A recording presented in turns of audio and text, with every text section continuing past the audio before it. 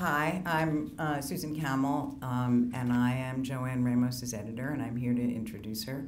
But first, I want to, since I'm the last one, I just want to thank all our colleagues in the library marketing department for bringing all of you together, for all of us publishers and writers here today, because um, the spirit in the room really is fabulous. And um, you do such important work in our community, more important now than ever. And I just personally want to thank you on behalf of Random House um, because it's been a really lovely time being here with you and with some amazing writers. So, um, so from the first page of Joanne Ramos's uh, brilliant debut, The Farm, you know you're in the hands of a writer with ingenuity and heart, a writer who has the talent to drop you into a world that is both foreign and familiar, with a heroine you can root for from the very first page. Joanne's take on what a financially desperate young single mother from the Philippines will do to ensure the future of her baby daughter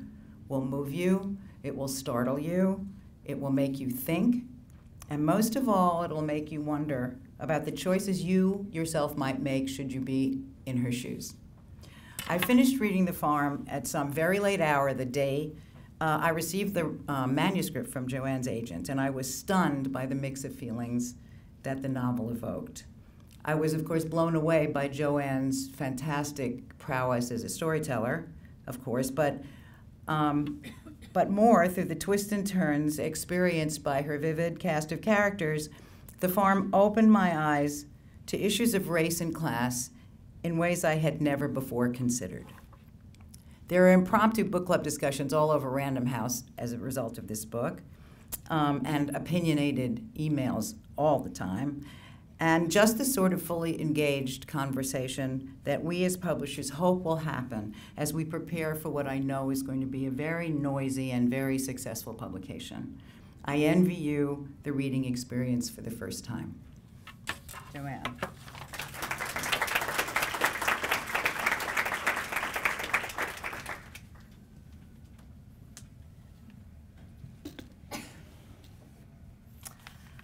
First, thank you to Susan, and thank you to all of you for coming. I know it's a really busy time of the year uh, to make time for all of us.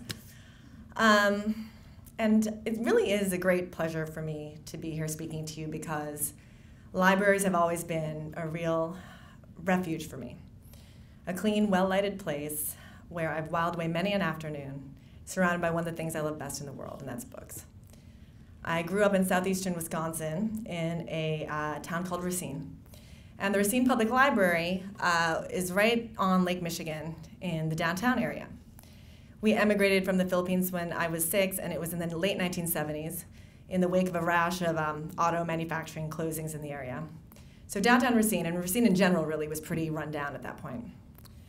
And what I remember about moving into our subdivision, um, which was about a 15 minute drive from the library, um, it was in the outskirts of Racine, uh, was the flatness of all those quarter acre lots and the one tree that the developer plunked down in front of our aluminum sided house.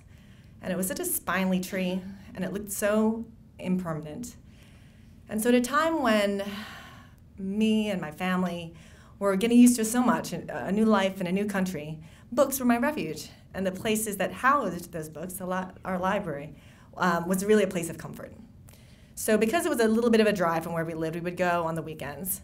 Um, my mom and dad would stay upstairs and they would look through the stacks of VHS cassettes to see if they can find some musicals they like and pick up their books and read there. I just have to say, as a total aside, um, my dad loved Louis L'Amour, so when I found out this is the name of the conference room, I took a he passed away a couple years. I took a picture, I sent it to my parents. I'm like, he's watching over my debut. So, um, and my little sister and I would make a beeline for downstairs. That's where the kids section was. Now, during the weeks when we the weekends when we couldn't make it to the library, Joyce, my little sister, and I would beg my mom to do her grocery shopping on Wednesdays because that's when the library's bookmobile parked in front of our Piggly Wiggly, which is where we did our food shopping. And to be honest, the trips to the bookmobile weren't quite as great. There was no room to lounge around with your book. The selection was understandably limited because it was just a big van chock full of a little bit of everything. But at least we got a fresh dose of books for the week. Um, and once in a while, um, the librarian there would recommend something that we actually loved. So it's better than nothing. Um, so reading really was one of the constants of my childhood, but it was never enough. I, I always wanted to write, and from the second that I could form words, I did write, or at least copy, because it's before I was like four. Um, before we moved to the States, it was normally Disney board books that I would copy. Once we got to Racine, there was a publishing house there. I don't know if it still is. It's called Golden Books Publishing. And uh, my parents loved to support local businesses, and they always had sales. So we had stacks of those books, and I would copy them word for word before I could write my own narrative and illustrate them. I got my first diary and my first communion when I was seven, and I kept a diary off and on ever since because I always felt compelled to write. Um, in fact, when my parents finally sold our childhood home six or seven years ago, I got this enormous plastic bin in the mail here in New York, and it's chock full of all the diaries I've kept through college. And I picked one up. Unfortunately, it was one from seventh or eighth grade. It was so painful to read because that's such a painful time. Uh, the only reason all those diaries aren't moldering in a landfill somewhere is that my husband wouldn't let me toss them. So, given this love of writing and reading, you'd think um, I would have written my whole life. But actually, when I started writing The Farm in my 40s, it had been a full 20 years uh, since I had written a story. And I've been thinking about that, about why that was. And I think it's because for me, although I loved words and making things up, um, that resided in a whole different space. Um, the real world was where you had to be practical and you had to make it. Um, but even though I hadn't written all that time, all the ideas of the farm, um, all these ideas and observations had been accruing really um, my whole life. So, as I mentioned before, I grew up in Wisconsin from the age of six. It was this funny dual existence because during the weeks, for instance, my little sister and I were fully half of the Asians in our big public elementary school. Uh, the other two were these Korean brothers. But on the weekends, we would visit my dad's family in a town about 20, 30 minutes away, and we were part and parcel of a really small but tight Filipino community there. In fact, my sense of family, what it means to be with family, is really from those weekends. Being with family is a lot of food, and you're always being forced to eat, and it's clamorous, and it's loud, and it's warm, and it's kind of invasive, but you always know that you're, you have a place. Uh, for college, I got out of town, uh, went out east, and I got into Princeton. And it really was a dream come true for me and our family. Uh, it was also a real eye opener. Um, it was the first time I'd met kids my age who would never have to support themselves. The first time I understood that summer is also a verb. The first time I was asked, Where do you summer? I was like, In Wisconsin. I just told you I'm from Wisconsin. Um, ever practical. I did not even consider majoring in creative writing or English. Um, I did economics and poli sci, and then took a job in finance afterwards, in part to pay off debt, but in part because I really felt what I should be doing is being practical and learning practical skills. And I have to say, my time in finance totally blew my world open even more, um, especially the stint I did in private equity. Um, part of this is that uh, I was the first woman that this leveraged buyout shop had hired, and so I start to see the working world through the prism of penetrating that old boys club. Um, and part of it uh, was because it was high finance. I was suddenly flying private jets places, and we had lunch every day. Me and my male colleagues, um, our gourmet chef would make it for us. And if I was up too late the night before working on an Excel spreadsheet, I could call our in-house masseuse, and she would come in and work on my shoulders while I finished up work. It was a totally different world. Uh, I did manage to break away from finance and start writing in my later 20s, but even then I was ever practical and I um, covered finance. Uh, I was in financial journalism. And then I started having kids in my 30s. And if any of you are parents, you know there's a lot of practicalities involved with raising three young kids. And I was home for a little bit of time. And I realized a couple things uh, during this period. The first is that New York City parents, in our zeal to give our kids the best of everything, can be totally crazy.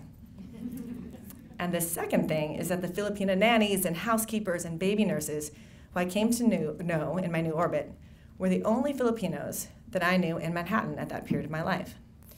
And it was a really weird realization the day that that, that dawned on me. And I became with, friends with some of these women, and they would tell me their stories about kids that they'd left behind in Manila and supported from afar, or the dormitory that two of my new friends lived in, where they rented beds by the half day to save money. And it all just reinforced this feeling that I'd harbored for some time, really since college, that what separated my life from theirs, an easier and ostensibly more successful one, for one deemed less so by the world at large, had as much to do with luck as it did with any kind of merit. And it was around this time that my youngest, my third child, was off to junior kindergarten. I had my days free. And I realized I wanted to write about all this stuff that I'd been thinking about for so long. Um, I didn't want to go back to The Economist. I wanted to give it a go. And I'd always wanted to write a book, but I'd just been too busy being practical or probably a little scared to really try. And so I started writing every day. Uh, I just couldn't find my way into all of these ideas and themes until I came across an article in the Wall Street Journal over a year later. And it was about a surrogacy facility in India. It was a place where Westerners were hiring Indian women to carry their babies. And the what ifs just started percolating. What if I made the surrogates um, not just women from India, but a cross section of the nannies I met in Tribeca's parks? What if I made the clients not just wealthy Westerners, but the richest of the richest of the rich? And so the farm was born. If you hire a host, as I call the surrogates, to carry your baby, you can rest assured that your baby will get the best of everything. From the cleanest air, because the farm's located on over 260 of the prettiest, most pristine acres you've ever seen in the rural Hudson Valley. The best doctors, of course, the best food, all organic, really the best wombs that money can buy because of the army of nutritionists and psychiatrists and fitness trainers at the ready to make sure your hosts are in tip top shape. In fact, in utero, your baby gets an edge because of all these things that they've come up with at the farm, like um, a system where they can pump everything from Mozart's symphonies to Steve Jobs' speeches to Shakespeare into the womb. And so Jane, who's one of my narrators, um, is a woman with very few options. She's a young Filipina, her husband just left her, and she just got let go from a baby nursing job. And she hears about the farm, and she wants to give her baby daughter a better life, and she thinks, how hard can it be? I've already carried a baby. At least this way, I have the chance of making huge money, the kind of money that will change her life for good. And so she goes through the arduous process of getting selected, is selected, and she signs on. But what she realizes is that it's not as easy as she thought. For one, there's nothing easy about being monitored and scrutinized and poked and prodded 24 7. There's nothing easy about living with a room full, a house full really of strangers for nine months, particularly when you're reserved like she is, and particularly when they're so different from you. And there's nothing easy about being cut off from her daughter. And when she starts to get signs and hints that all's not that well in Queens, where she left her baby uh, with a relative, um, she becomes ever more desperate to leave the farm and make sure her little girl's okay. But what she realizes is that when she signed away those nine months of her life, she signed away all control over nine months of her life. And the question becomes, what's she going to do and what she's willing to sacrifice? I hope you enjoy it. Um, thank you for all that you do and for being here.